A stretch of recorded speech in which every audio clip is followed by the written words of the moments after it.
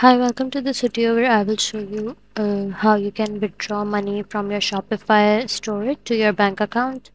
So let's get started. First of all, you have to log in into your Shopify store and then go to your Shopify dashboard.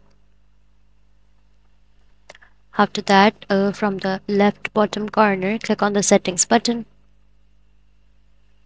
And now go to settings so you'll be prompted to complete the account setup.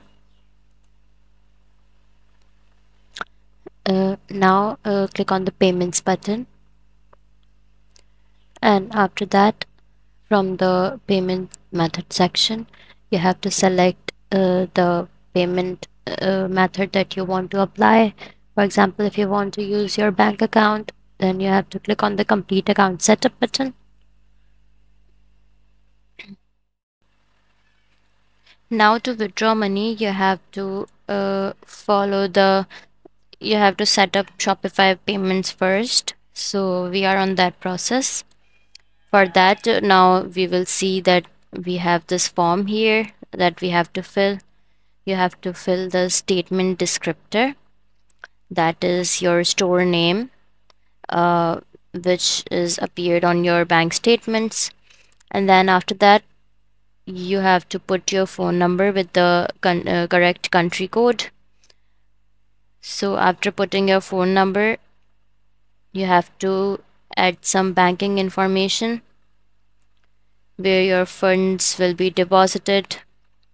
So add the sort code of your bank. And now uh, enter your account number that you want the uh, that you want your funds to be deposited in and after that you have to check the terms and conditions. After checking them uh, yeah after checking them click on the complete account setup button. So now shopify payments is the main payment provider for shopify stores and that's done. And now you can uh, add any payment provider that you want. For example paypal or Apple Pay, Skrill, whatever you want. So uh, that's how you can that's how you can withdraw your money from Shopify to your bank account. That's all for this video. If you find this video helpful, please like and subscribe to our channel and thank you for watching.